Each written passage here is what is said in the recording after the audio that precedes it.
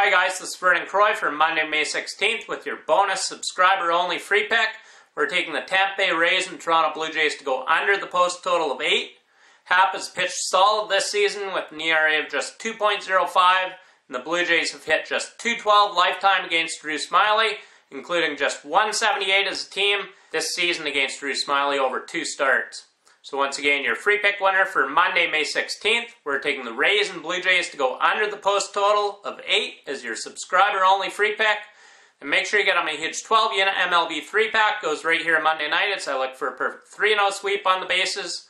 Until Tuesday, in winning, Vernon Croy.